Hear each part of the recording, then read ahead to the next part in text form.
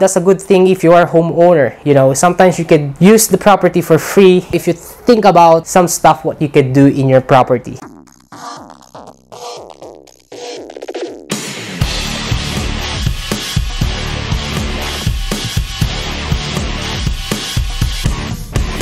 What is going on guys? This is RJ Bautista, top realtor here in Central Florida with eXp Realty. Today I'm to talk about the advantage of being a homeowner rather than a renter. Okay? If you are renting for so long or for many many many many many many years, you know, make sure you watch this video from this start until the end because I'm to cover to be a homeowner and stop renting or people saying waste money on your rent. Okay? So before I start this video, if you're new to my channel, welcome. Please subscribe if you you haven't done so. And also the most important thing is smash that like button and share this video if you found this value and useful. And also last thing but not the least I just want to clarify that I am not financial advisor I am not a lawyer or accountant. This video is particular for education entertainment purposes only. Are we good in that one? So let's jump into it. So first thing I would like to say here is like if you can afford to buy a property but you don't know how to buy a property or what's the step of the property first what I will do is I will put a link here or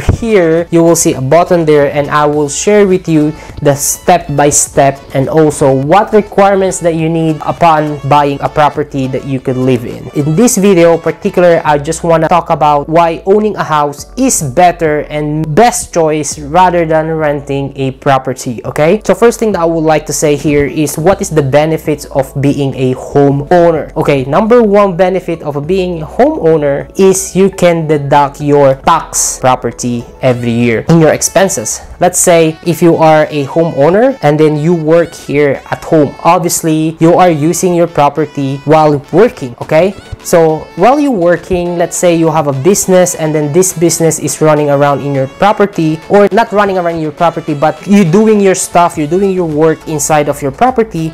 So what could happen is you can deduct that money, a portion of your size in the property in your taxes by the end of the year. So what do you mean by that? It's confusing RJ. Even me, I confuse what I said there, right?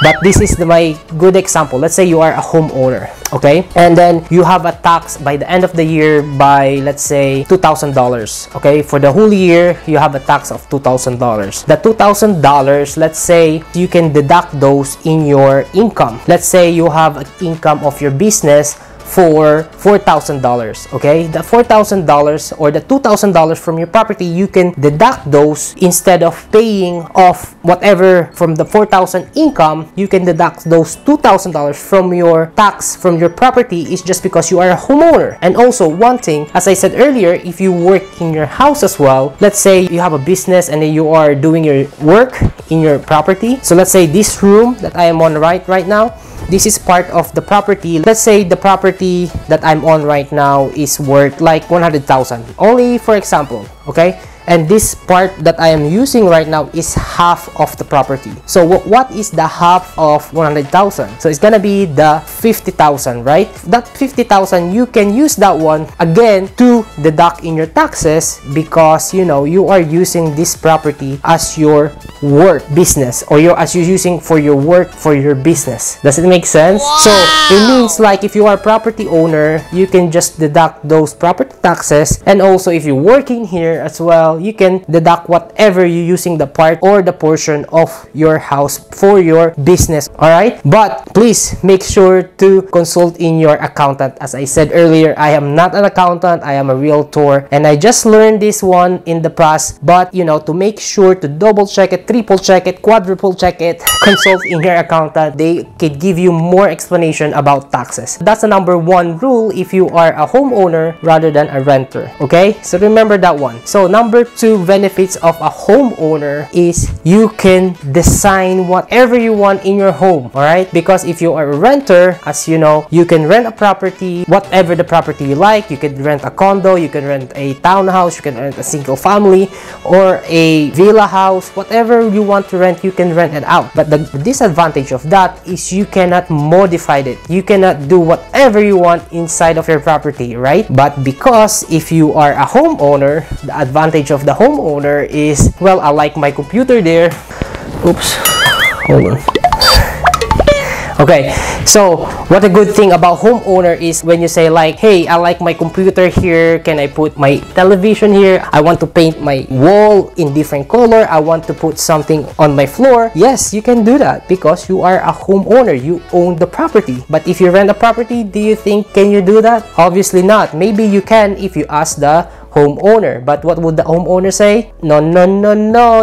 No, no, no, no cannot do that unless you kick out and get out to my property so that's the number one thing that you need to think of if you are a renter okay? Because sometimes if you're a homeowner you know you can do whatever you want. Paint here put some wall there. If you want to have a dog if you want to have a pet you can do or we can modify as much you want in your property because you own that one all right? So that's a good thing or advantage of a home owner so that's the number two advantage of being a homeowner than a renter. So let's go for my top three or my top three tips if you are a homeowner than a renter is well if you have let's say a four bedroom or at least three bedroom house or property and you are only using one property not one property one bedroom in that three bedrooms so how many bedroom left in your property? You have two left right? Two bedroom which is not being used. So what you can do about that one if you are thinking smart, what you can do is you can rent that out, the two bedrooms for a room for rent all right so what can you do is let's say well i have a two spare bedroom here and then it's just sitting there no one's living it. Instead of doing nothing rent it out. Either you could do short term for that one or short term rental or you can do a long term rental you know? Either or it will generate you more income. It will generate you more money and you rent it out like for 600 for one bedroom and another 600 for one bedroom that's a 1200 and maybe your mortgage is 1500 so you only need to pay 300 you know to cover your mortgage. Sometimes you can do it for free. You are living for free if you are good enough or if your mortgage or if your mortgage if your property is in good location you could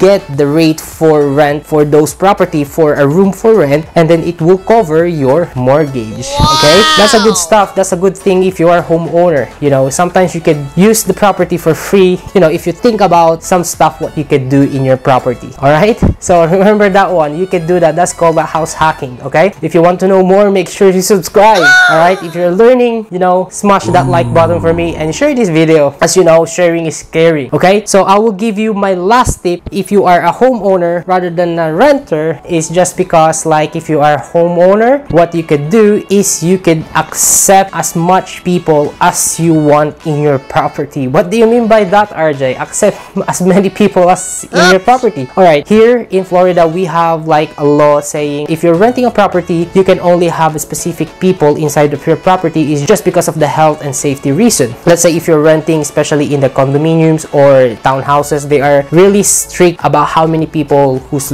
living in that property is just because they don't want like a one bedroom, let's say one bedroom property and you have like 10 people in there. What?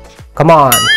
How would you fit 10 people in there living the property? But if you're a homeowner, what they can do, it's your property. You own the property. It means like you can put as many people as you want in there, but make sure that you are safe inside there and make sure that, you know, you can accommodate that one because when if you are a renter, they are more or they have a lot of restriction. They have a lot of restriction. They have a lot of rules and regulation that you need to follow. But if you're a homeowner, you make the rules, all right? You make whatever you want because it's your property. You don't have to follow the rules unless they have an HOA. Obviously, you need to follow the HOA rules or else, you know, the HOA will be mad at you and they will kick you out in the community. But other than that, inside the property, you can do whatever you want in the property and no one will stopping you. Which is the good thing if you are a home owner. Okay? So those all the hacks, not the hacks, those those all the tips that I can give you if you are a homeowner than a renter. If you want to know or if you want to add more, comment down below your thoughts or your comment about this video. I know I'm talking too much, but if you stay in this video until this end, comment down below